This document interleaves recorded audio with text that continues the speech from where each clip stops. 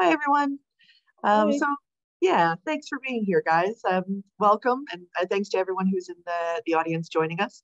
Uh, my name is Adrienne Fast. I'm the former curator of art and visual culture at the Reach Gallery Museum.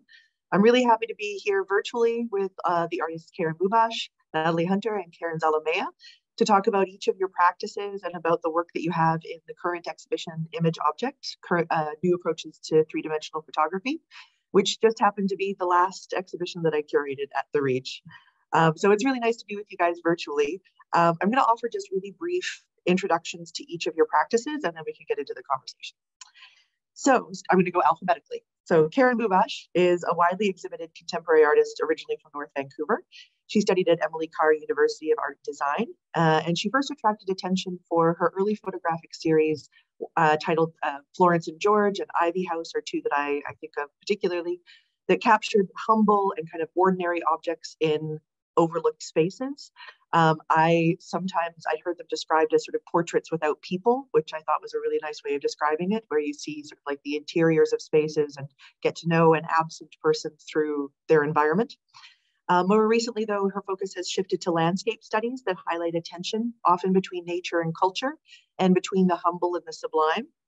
Uh, the exhibition image object includes several works from her series Paper Forest, which are large landscape photos that are painstakingly constructed into three-dimensional tableau of dense Pacific Northwest forest scenes made using a technique called paper tole. Next, we have uh, Natalie Hunter. Natalie is an interdisciplinary artist from Hamilton, Ontario, and she studied fine art both at the University of Waterloo and at Brock University in St. Catharines. Natalie works at the intersection, I think of it as Venn diagrams that overlap in the center between photography, sculpture, and installation. And where all of those overlap, that's where Natalie is. Um, so she creates these multi-layered and immersive photo inst photo-based installations on materials like transparent film or translucent silk. And then in works like Edge of the Sky, which is on display at the Reach, she then drapes and wraps these materials over armatures to create three-dimensional kind of sculptural constructions that change as light passes through it and as visitors walk around it. Her work also often references the passage of time. So like in the series Scent of the Sun, also on display, which uses photography to express changing experiences of light throughout the year. Um, specifically in that work, she's referencing the spring and fall equinoxes and the summer and winter solstices. And then last but not least, we have Karen Zalamea. Karen is a Filipino-Canadian artist and cultural worker based in Burnaby, BC, who also studied at Emily Carr University, but also at Concordia University in Montreal. Her artistic practice is also rooted in photography, and she is particularly interested in exploring the material qualities of the photographic surface itself and the way that the photograph can mediate or manage the relationship between the body and space. Um, Karen is represented in the exhibition through a number of distinct but related series. So there's two series called Scene and Weathering that both consist of detailed landscape studies that are printed on a variety of different kinds of materials that really draw attention to the surface of the image. And then there are also several works from the new series Sunken Garden that are related to the artist's ancestral home and house in Quezon City, the Philippines. And we'll talk a little bit more about sort of all of those works um, in a minute. But before we get into sort of what each of you are working on now, I have a general question for all of you because you all went to art school where I assume you took classes in or were exposed to all different kinds of media, painting, sculpture, you know, uh, video, whatever.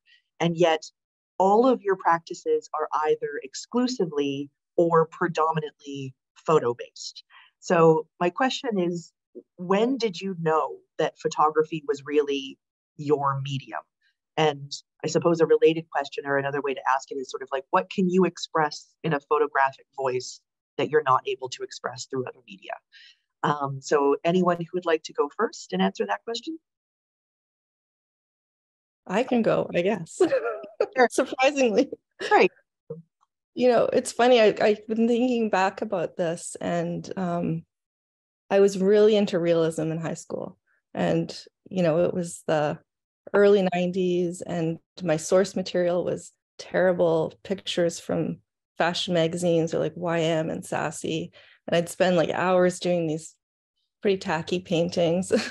but I had a really great um, photo teacher who who suggested that maybe photography might be the route based on the kind of painting I was doing.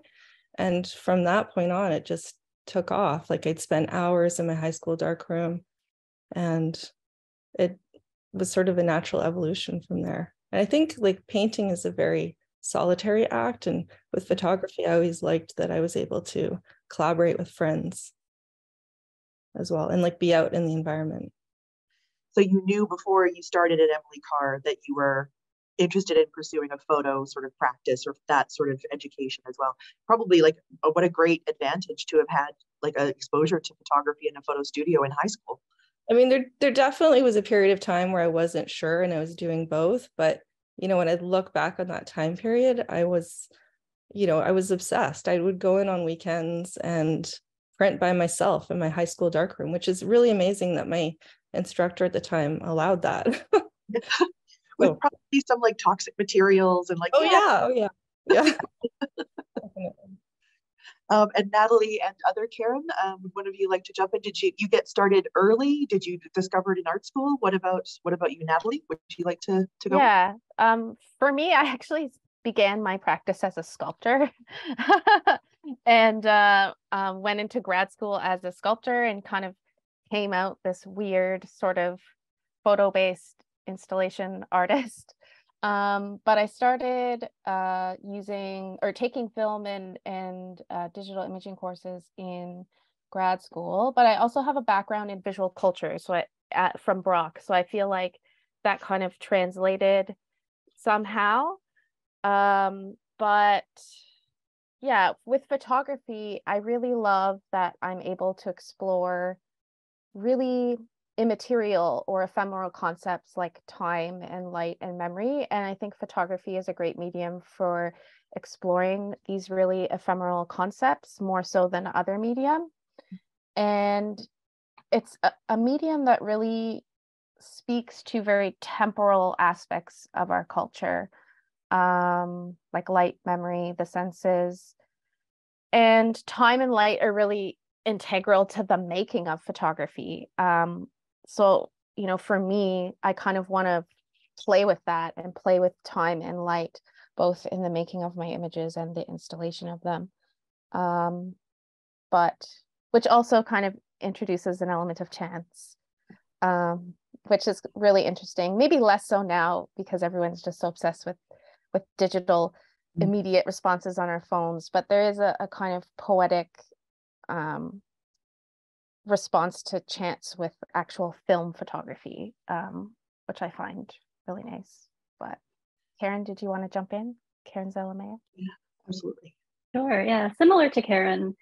Uh, for me, it was in high school, learning how to use for the first time a 35 millimeter film camera, developing black and white film, spending hours and hours in the dark room amongst toxic chemicals and not wearing gloves and just getting in there. Um, and it's the real experience of like magically seeing this an image develop in front of you. And I think I, I just fell in love with the medium that way. And also how it uh, consciously makes you think about ways of seeing, ways of ways of observing, um, and and working with you know, as Natalie said, with time, light, composition, elements of chance. And these are still, you know, fundamental elements that inform photography to this day and things that you still have to to to juggle with. Mm-hmm. Yeah, I was thinking about. I'm not sure if we're the same age, Karen, but you know, I went to Emily Carr in the mid '90s, and at that time, there's such a you know, the constant conversation was that painting was dead. It was the painting. Painting had no future and photography like there was just so many exciting things happening with photography and it just felt like i mean being a woman it just felt, like there was room for me to make work and like the doors were sort of opening and digital was new everything was brand new and there was uh, a lot of progress happening and then there was also magazines i mean there's so many magazines that were being produced at that time we didn't have you know Instagram. so just the possibilities were um, exciting. Probably for both of you also being in Vancouver, which um, has such a legacy of conce- conceptual and contemporary photographic work. Mm-hmm. Um, I don't know if Hamilton uh, or in Ontario, if you were exposed to those kinds of those things that were happening, Natalie, but I can see going to like art school in Vancouver. Yeah, at that time, they, they weren't mm-hmm. they weren't pushing uh, a lot of students to go into painting anymore. Like photography was that's where all the exciting stuff. That's where the cool kids hung out. so no regrets amongst any of you that you didn't become a painter. well, I mean, I kind of have come back to it in little bits and pieces, but you know. so uh, you all obviously like you you all started your photographic journeys working with analog film um, uh, and have been involved through the, the sort of the revolution with uh, digital. But all of you also, although you do do what I would call like straight photography in a way where it's like sort of straightforwardly two dimensional, straightforwardly representational, more or less. Um, as the exhibition makes clear, you also all kind of like to experiment with pushing the limits of what we expect photography to be and like what it could be. Um, could each of you maybe just speak a little bit? I think you're t- you touched on this a little bit already, but like what excites you or interests you about pushing photography in some of these more experimental ways? Let's go backwards. I'm going to go back to Karen Zalamea now. and So we'll circle back. Karen, do you have any thoughts on that? Sure. I mean, I think there's a lot of potential and possibilities in thinking about photography in an expanded way. And certainly the, the medium is ubiquitous and accessible. And you can take a quick snap on your smartphone. And I love that it's, accessible that way. But be, with that ubiquity comes also um, the conventions, hard laden with conventions and expectations. Um, so we come to, for example, a landscape photo with certain expectations, or even a vacation photo or, or a portrait with certain expectations. And you can those conventions for sure. It's nothing wrong with that. But I think there's um, really rich territory in exploring where you can go if you challenge those conventions. And so thinking about other ways of photographing, or perhaps even treating the camera as a site of experimentation, or printing on different materials, as you see in the exhibition, or manipulating those printed materials further. So for me, that's um, where experimenting within photography is is really uh, rich with much potential and invention. Natalie or other Karen, any thoughts? Um, well, I have a, a fascination for both image making and also working with materials by hand. So I remember when I first started making images, I was really frustrated by the screen.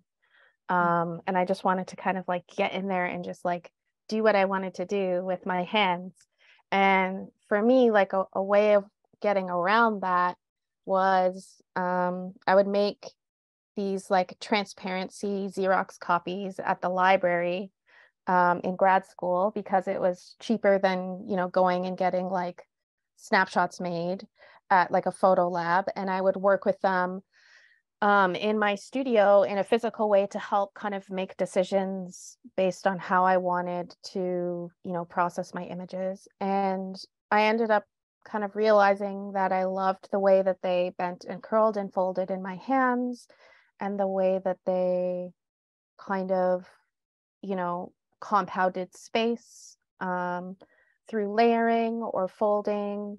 Um, and they made latent images. So that kind of surprise of making a two-dimensional medium into something very spatial and experiential was a, a kind of aha moment for me. Um, and i kind of recognized that potential of kind of challenging the, the 2d screen world that uh, we currently live in and kind of pushing the boundaries of and properties of photography in terms of light and time and space and making them a physical experience. Um, so ever since I've kind of tried to push that and push kind of photography's potential.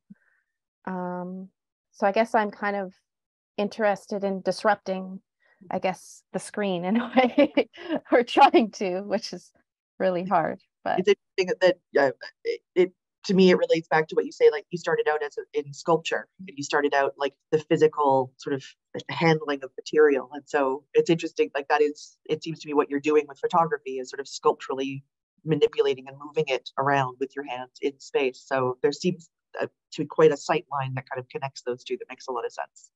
Yeah.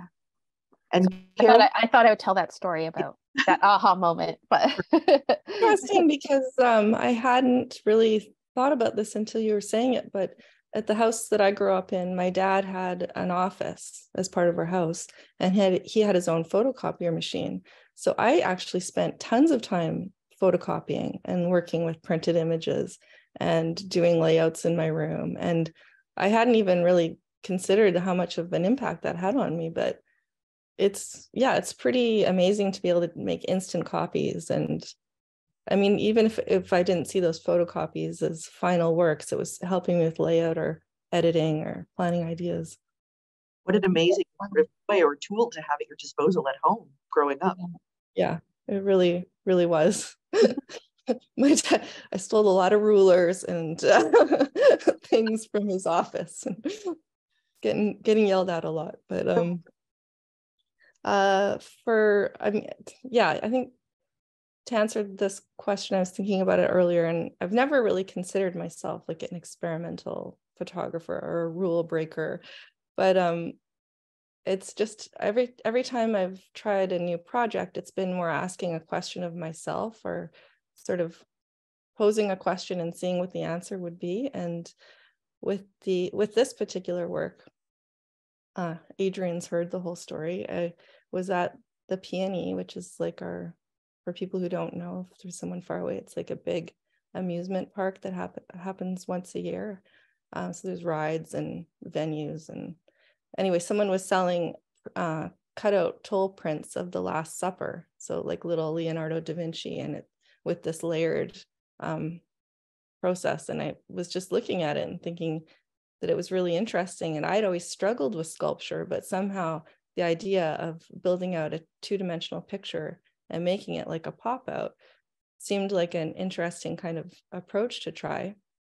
And I'd been working with photographing interiors and my friends' messy apartments. And so there was uh, like laundry baskets, and because everyone was students, beer cans and posters. And I had been taking these pictures, and it seemed like, well, maybe I'll maybe I'll try this craft technique and see what happens. And you know, it it was very difficult at the time I was printing 16 by 16 inch pictures, which for the late 90s were considered large prints, and making many layers of them and having the hand cut around each object. And I used foam core, and then the, the sides of the paper was white from the cutting. So I had to take a marker and retrace out around everything so that the white didn't kind of disrupt from the image. And to do six pieces that were included in this uh, show at an artist run center here, was so labor intensive and i just thought i'll never make this work again. Like it was just even though i was happy with the pieces it was just you know there was i didn't really glue some of them properly. I was using a hot glue gun. I kept burning my hands. I just thought like why am i going through this? And so i um, shelved that idea even though i think at the time people thought there it was kind of interesting. Um, and so then flash forward to this body of work. I have a friend who had bought a laser cutter and she was working on some jewelry and she was showing me how her laser cutter work and then worked and then i suddenly had the epiphany that if it, i could cut down on the actual cutting that um, it would make the assembly so much easier and i could possibly work on a larger scale. And so they've slowly been growing in size. They started with 24 by 24 and then i keep getting nudged to make them larger. And so this is what we have in the show and it's just stupid work, stupid work. I spend spend hours and I don't know why I'm doing what I'm doing. I think I'm a, like punished. So years ago, one of my male contemporaries referred to me as the Martha Stewart of photography. So I don't know. it's interesting. You talk you call, call paper tole also like a craft technique, which I guess it is, but it also to me like um, and I think you've you've mentioned to me privately sometimes like don't call them paper toles call them like photographic sculpture or, or yeah well that's the thing it's like this whole discussion like if a woman does work it's craft mm-hmm. whereas if a man were maybe to approach this it would be important sculpture like i don't know but it also harkens back to sort of like the debates around photography itself as mm-hmm. a medium and like is this like a, a fine art a fine art technique or is it uh, a, a mechanical um, craft or uh, a science, etc. So all of these things, and that a, a part of like part of what drew me to that body of work was just the opportunity to talk about some of those tensions, and none of them mm-hmm. is none of it is resolved. It just when you're mm-hmm. standing in front of the work, it's so amazing that it kind of doesn't matter. But but um, it's like Natalie was saying, it brings you back to the surface that it's ultimately just a paper object that can be cut and it can be bent and it can be folded. And it's just this optical illusion that happens when put in a certain way. And I just, I love the simplicity of that. And I loved in your statement about the work, you know, it's all work that you have to experience. Instagram, none of these pictures in the slideshow, it just doesn't do it justice for actually being in the exhibition space. And it does, I do feel like quite a fraud because all of the everything I wrote about the exhibition was like you have to see it in person. The mm-hmm. images of it don't like do it justice. It doesn't like it has to be experienced in the room. And I mm-hmm. actually haven't seen the exhibition because I've seen the work though, so I've seen the but yeah. each sort of have touched on a little bit like the experience of how we encounter how we usually encounter images now, which is through a screen. Um, mm-hmm. So either through our laptops, through our television screen, or more likely through our smartphones. And there's something about the way that images, all of our experience with images gets sort of reduced to a very sameness. Um, everything is the same size. Everything is the relationship to the body is the same. Um, and there's a real flattening out of images and our experience with them. I think that we we all are used to now um, and has become sort of ubiquitous. But what I like about all of your work is the ability, it, all of it expresses the ability of photographs to surprise you when you encounter them in the flesh, when you're actually taking up space with them. So, like in all of your work, I've experienced the kind of like, oh, it's like, it's different than I expected. Like, there's like that sort of like moment of surprise when you see it in person. Um, and one of the ways that that can happen is through messing with our expectations around the sense of scale. So mm-hmm. things that we think might be very small and intimate being blown up very large, or things that are monumental being rendered very intimate.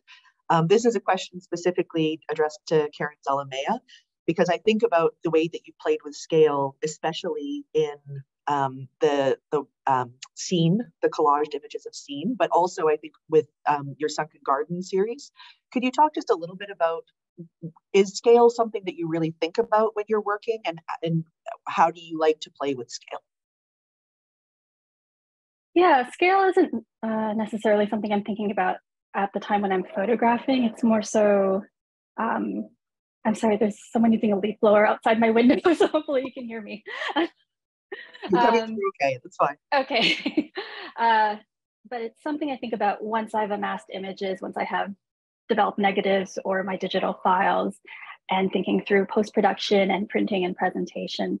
And so for example, in Sunken Garden Staircase, which is the large banner image of marble, and it's eight feet high by 12 feet wide. I think it's the largest photograph I've created to date.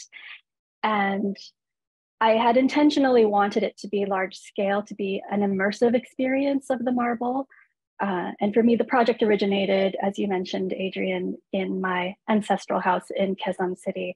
And so what I wanted to do was photograph details from the home. So I photographed each of the 14 marble steps in the house and digitally merged all 14 of the images together, matching up the veining and the textures of the marble to create the monumental photograph.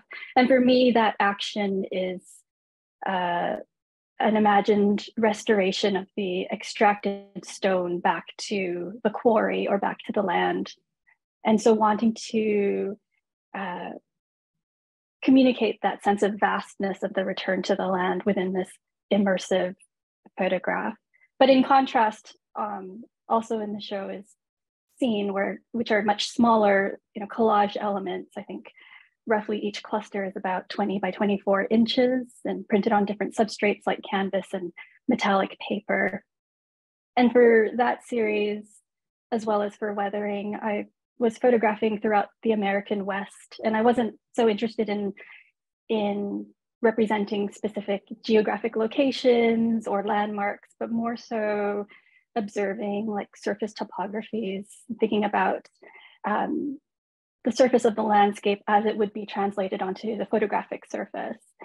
And I think working in a smaller scale that can be really physically, materially handled by hand and manipulated, uh, and also shot from different, different, different vantage points. So you're not entirely sure if you're looking at a detail of a rock or the side of a mountain and layering all of these um, different vantage points and orientations onto one another and having them printed at a smaller scale, which then invites a closer, more intimate viewing, I think heightens that sense of disorientation and ungrounding.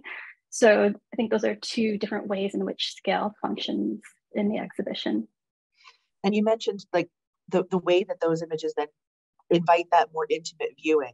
So you come very close up to, you're forced to come very close up to the, to the surface of the image to, to view them.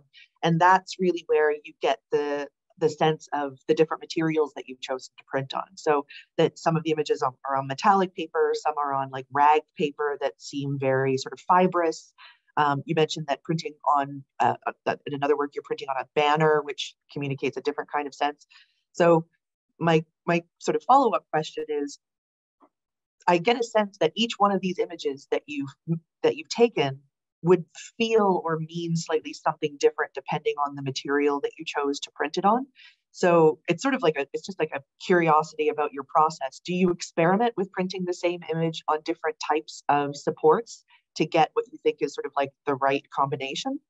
Or do you know like this is going to be a, this image is going to work better on fibrous paper or metallic paper? Yeah, I don't necessarily print the same image on different materials. I think there's a lot of research that goes into it in viewing um, other artists' works and exhibitions and seeing what may or may not work, or viewing samples, or even just printing small test strips. But for me, for for example, for weathering, which is printed on silk, I knew I really wanted the images to to be you know slippery and fold and drape uh, and function as like topographical skins. And i had seen other artists print on silk and i really uh, really liked the way that it retained the image detail and color reproduction too. So so it functioned from a technical point of view but also conceptually fed into how i was working with the imagery so really wonderful bridge there because you mentioned working on silk, which is something that Natalie also you have experimented with, and you've done some series where you're printing on silk. Was your choice to print on silk? Uh, does it sort of echo what Karen has talked about? That like the idea that it's kind of this, it's almost like a delicate kind of skin. Was that the reason why you chose to work with silk, or can you talk a little bit about that experience for you? Oh, you're you're still muted, Natalie. Sorry, I was just trying to be polite. but um yeah, it it kind of uh kind of similar but also kind of different. Um um so I'm kind of really interested in, you know, I regularly fold and drape and layer my transparent film images in space and that material kind of allows me to do that in a particular way based on the material properties, almost, you know, curving it through space um, but I wondered how this would carry forward with other materials. And what prompted me to begin using silk was this um, encounter with a viewer a number of years ago in one of my exhibitions where a viewer had reached out and touched and tried to like pull on one of my transparent film pieces. Um, and he came to me after and explained that he thought what he was reaching out to was a piece of textile or mm. was a textile installation, but was really surprised when he touched it and he realized what it was. And this sort of really interested me, like based on how my work was lit, how the light was kind of throwing itself through the the material into the corner combined with the material and how it was installed i was able to sort of fool a viewer into thinking that they were seeing something altogether materially different than what it was so then i was like maybe I should start using textiles, or maybe I need to explore this a little more uh, in terms of understanding how my work translates in space. And so I wanted a material that um, kind of maintained that translucency or that transparency that um, was related to my transparent film pieces. Um, but the silk is interesting because you know it's thin it's slippery it wrinkles very easily. I'm sure karen knows that. Um, but i liked how it ran through my hands and it sort of like felt like water. Mm-hmm. and i liked how the light passed through it and sort of made a mirror image on the other side. So you can kind of experience the image from both sides. Um, but they kind of reminded me of like skin or a, membrane or connected to the body but also something domestic that's that's sort of like laundry hanging in the sun or like bedding or something.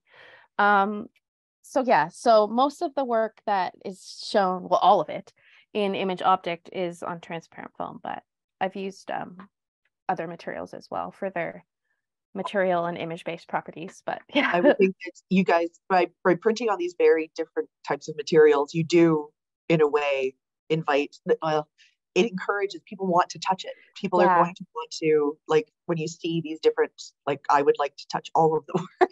So i'm yeah. sure, sure you probably come across that in uh, when you've shown your work before I'll probably all of you where people sort of want to reach out and sort of yeah. see what's actually and it, and it didn't make me mad or anything. It, it was i was just really interested in you know, oh wow, like I didn't even see that in my own work, right? And you thought it was something that materially it wasn't. Mm. Um, so that was a kind of um, nice surprise. Uh, but yeah. So you touched on uh, the fact that your work is is unique uh, in this exhibition. That it's the the only work where light passes all the way through the photographic image. So we're used to the idea that like light has to pass through a lens to create a photographic image but then you take that photographic image, make it transparent, print it on transparent materials that light shines through it. I think of it as, and then the, the colored shadow that it creates on the wall or on the floor or the surrounding space, which then moves as the exhibition changes in times of day and through the seasons. It really sort of expands the boundary of the of the art object per se, that it's not just the photographic image, but also this this expanded image, this expanded shadow.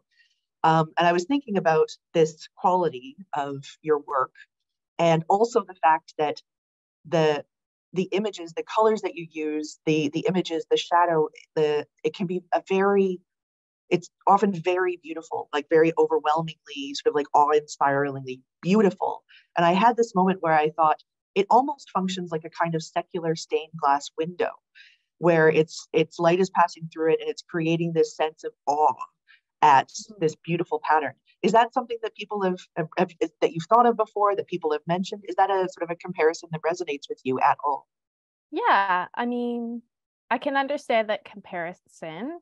Um, I wouldn't say that it's sort of spiritual in a way, but more, I think it connects more with the sublime, perhaps, um, or this idea of transcendent. And I think transcendence. And I think a lot of artists throughout art history um, have been you know using light and responding to light in very representational ways throughout history like impressionist paintings for example or even in very material ways like the sculpture that was coming out of the light and space movement um, in the 70s but i think it was quite natural for me both as someone who enjoys working with materials and images to draw attention to um, light and time, like the integral foundational um, components of photography, but also, you know, photographs are very static objects. And for me, I wanted to create a kind of durational um, encounter um, for the viewer. Um, and my physical use of light uh, hopefully sort of challenges this idea of a photograph as this static frozen moment in time, but as a kind of durational material um, fluid thing. And, you know, for me, it's akin to kind of like memory or thought or light and time. These are very fluid concepts, um, but we often kind of perceive the photograph as something that is very static and related to truth. Um, as opposed to related but, to subjective experience and right. Like, yeah. It was yeah. something that occurred to me, um, maybe uh, also now having uh, actually left Abbotsford and come somewhere else, but it, I was preparing for this talk and this this idea, this came to me like that it sort of feels like potentially like a similar experience to stained glass windows and it's always different when you exhibit work in different contexts and different communities uh, because abbotsford has been referred to uh, by some people as the buckle of the bible belt um, i did wonder like wonder if any of the visitors to the exhibition at the reach have have if it resonates with audiences there in that way it was just it was something that crossed my mind. Yeah. Well, I'll have to check in um, with uh, with Kate afterwards and ask if anyone anyone has talked to the gallery attendants along those lines. But I did have one more question for you, which was that um, you've talked about the like the the the work is maybe related to ideas of the sublime, and, and that connects us to sort of concepts and discussions around nature, particularly because a lot of your subject matter is drawing from nature, the natural world, from the landscape, um, the rhythm of the seasons, the, the rhythm of times of day, and things like that. But there are sometimes, we, you and I have talked, there are some works where you have worked with the human figure as well. And I was just wanting to, if you could maybe express a little bit about what that experience is like for you. Like, how do you, is it very different when you're working with human subject matter? Are there certain series where you feel like that the human subject needs to be brought in in particular? Um, and just what the, those choices are for you in your practice. Yeah. Um, for me, it kind of speaks more to, you know, ideas of embodiment and what would be more appropriate in terms of expressing ideas through the senses. And um, photography prioritizes the visual sense. And I find it kind of interesting to challenge that idea in terms of um, tactility. Mm-hmm. And so I guess a lot, the majority of my work is is seen to be a bit more abstract or not really abstract, but from the perspective of the body or the camera's point of view. Um, and for me, I, I do that to kind of help the viewer insert themselves into the work a, a bit better. Um, but I'm also interested in how light and time affect um, our bodies. So I do sometimes work with the human figure, and one of those um, examples was a body of work that I made with my mother's hands in 2017. And they are photographs, but also photo based sculptures that looked at that relationship between light and touch. And so I invited my mother to, to kind of interact with um, the drapes um, on her window, excuse me, um, as the light sort of filtered through. Um, and how she kind of handled um, the drapery material um, and that is sort of something I'm still sort of interested in. But in 2021, I also had a solo exhibition at Smokestack, Smokestack Gallery in Hamilton. And that was actually the first time that I showed just a small portion of Scent of the Sun. Mm. Um, but the show was called When I See, I Breathe Light. And the photographs most of them were made um, within the space of the of a breath as my exposure time. So I was interested in this idea of kind of challenging the length of it of an exposure to make it closer to a kind of body understanding of time rather than a very quick mechanical understanding of time, which kind of resulted in these very ethereal multi, multiple exposure images that you know are from the perspective of the body but aren't necessarily representational of the body mm-hmm. um and it's i think to bring in as you like this that relationship yeah. of the photograph the image to bodily experience without it necessarily being the what is represented but still yeah. process and the experience yeah yeah and i think the human form is present in you know in works and image objects probably through its absence like if you look at scent of the sun um, most of the images are are like these floating windows that look outward from the camera or outward from the body so there is there is that kind of reference to the body through a framed view mm. um, but you know the body isn't represented um, and also like it, it does reference sort of like built environment like homes like you have like sort of yeah. like lines of a window like again it's sort of like the the, the human figure is obliquely referred to uh, yeah like maybe not kind of like architecture and the spaces that we dwell in kind of shape our human experience as well. Yeah. Um yeah. That leads really nicely to my next question which is for Karin Bubaš because you more your more recent sort of um, landscape photographic work usually includes a, a, sole human figure usually a woman with her back turned uh, to the camera. But in this series paper forest the, the human figure is entirely absent. Was there sort of like practical reasons for that or was there was that a conscious choice to to depict the uninhabited forest for this series? Yeah i mean all my projects always start off with a question. And so for me, the question was I started thinking about Emily Carr and the places where she, I imagined that she had made her paintings. And so it was like, if I entered those spaces, what would what would my pictures look like?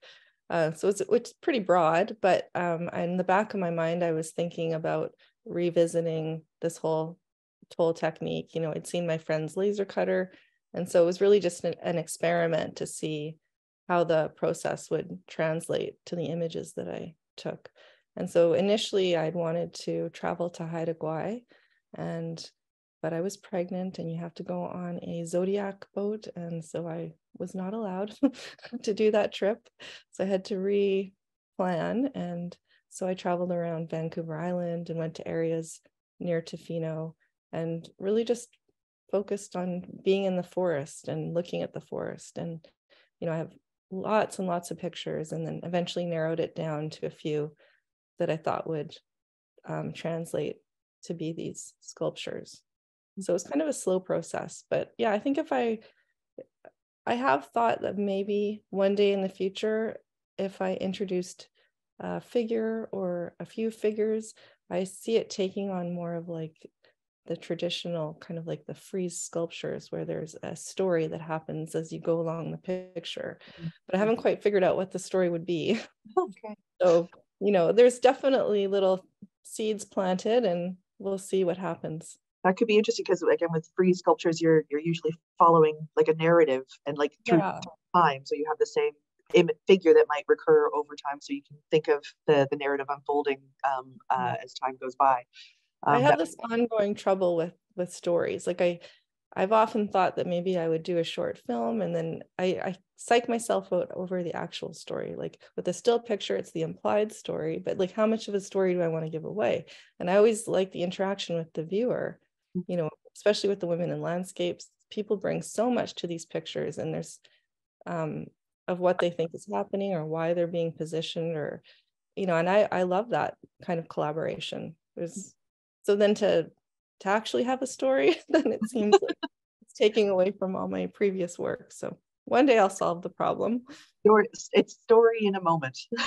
Yeah. story, the story gets um, and you've you've told the story of the paper tole. I do want to say that the, that in a weird way, paper tole is what brought this exhibition together, because um, uh, I was drawn um, particularly to your paper tole work uh, because my mother did paper tole uh, through most of my childhood, um, and that was sort of the seed that got me thinking about three-dimensional photography. And that, that your mom's paper toles are so good. Adrienne showed me some of them. I mean, the detail. She puts my work to shame. She had little bits of um, like was it a glue to make it look like a glistening on yeah. the windowsills, and I mean, it's it's fantastic do have a couple of pieces of hers here in Saskatoon, and they are quite remarkable. She never worked in photography, so it was always sort of like you know, um, like prints, like like mechanical yeah. reproduction prints of things. So, yeah, most people seem to do, but yeah.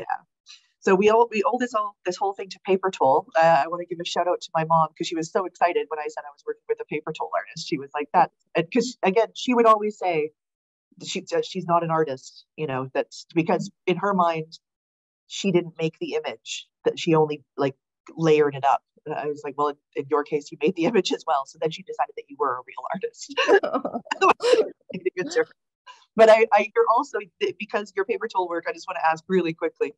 Uh, was the inspiration for the Reach's very popular culture kits or edu kits this season, oh, yeah. where we have these little paper tole kits that can be taken away by kids or by educators and used in schools. So to teach all kinds of ideas and to connect people to the exhibition.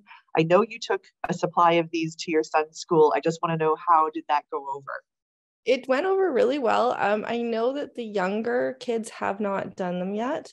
The older kids did them, and even in my my son's in grade five. He's in a five six split, and um, there was a little bit more difficulty than the teacher anticipated with um with assembling them. So uh, I think just with the little kids and the use of the scissors, so they were there's going to be planning a big buddy little yeah. buddy system where they're going to go into the classrooms and help them. But yeah, it was exciting.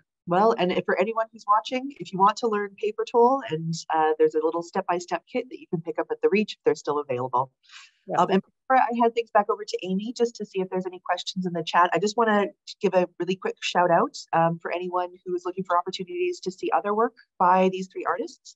Um, Karin Bubaš, I want to mention that you have a solo show coming up later this year at the Audain Museum in Whistler, and that's going to open in September and run until January. Um, Karen Zalamea, um, you have some work coming up in a group exhibition titled Here and Now, which will be at the Pendulum Gallery in downtown Vancouver in April, and that that's also a part of the Capture Photography Festival. And Natalie, you we just missed the the timing, but you were just the featured artist at Hamilton's Winterfest with those beautiful light boxes. They were outside. Were they outside? I, I was just one of many artists, so there was like over twenty artists, but yeah. They look fantastic. Follow her on instagram.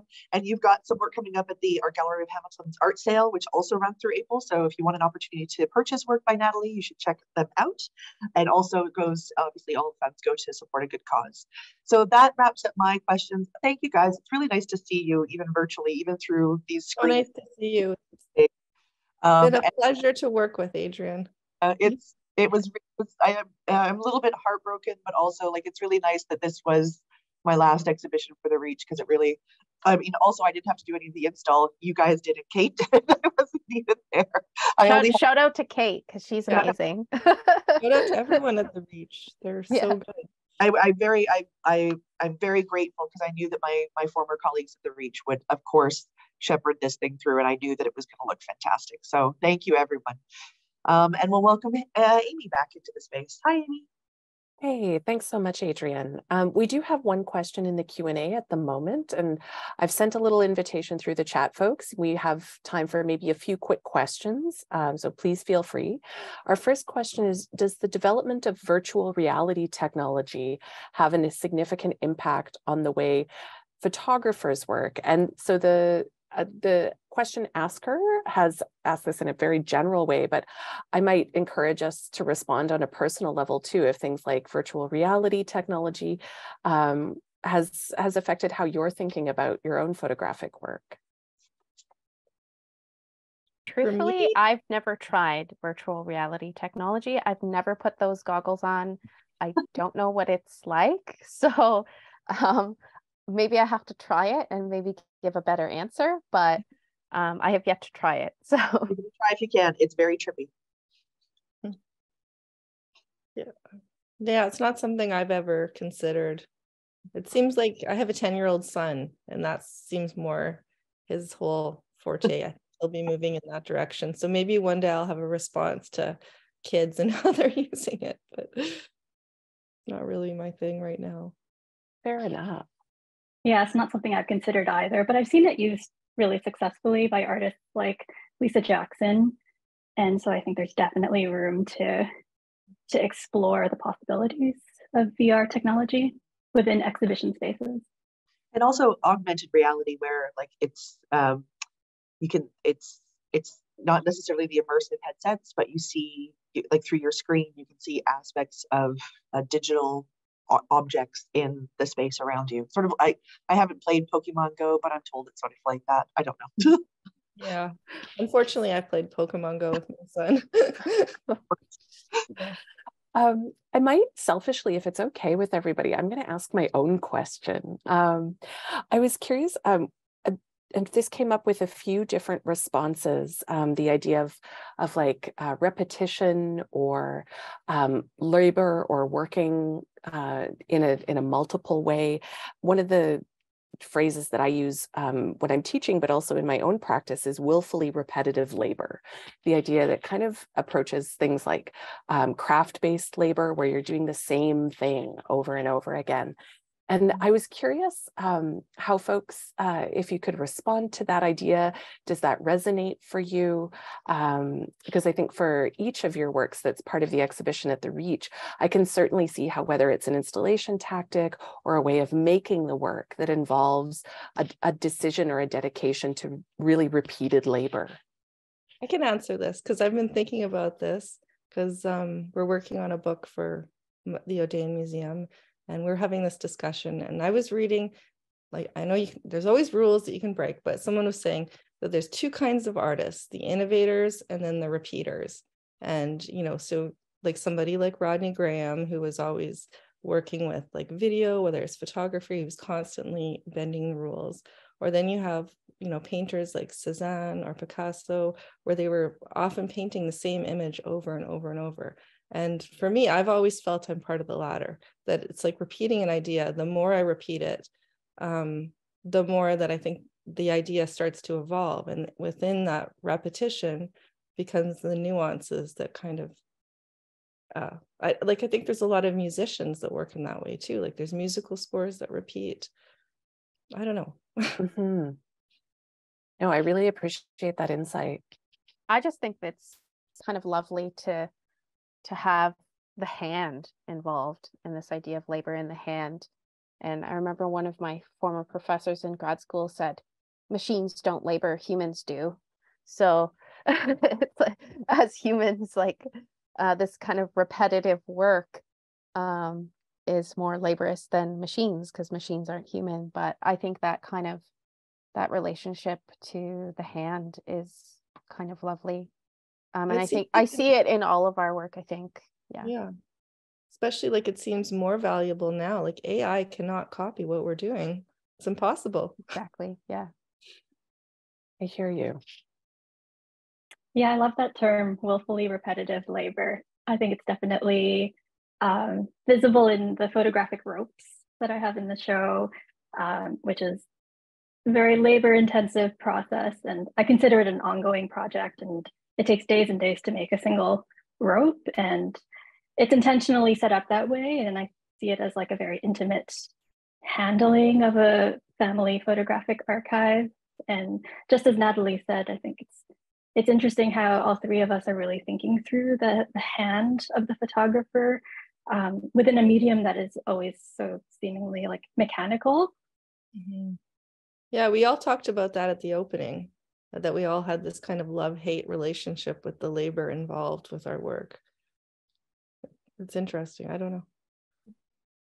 Yeah, absolutely. Thanks for taking time with my own question. Um, we don't have anything else in the chat or the Q&A, but we are also at time. So I wanted to say, Adrienne, um, we do have an opening if you'd like to ask a wrap-up question, um, but we can also uh, let folks go if, if we feel like we're ready. I think I think this feels natural, tied in a bow. But thank you so much, everyone. It's nice to see you all from Saskatoon. Absolutely. Thank you. Thank you so much, everybody. Thank you so Have much. Thank you.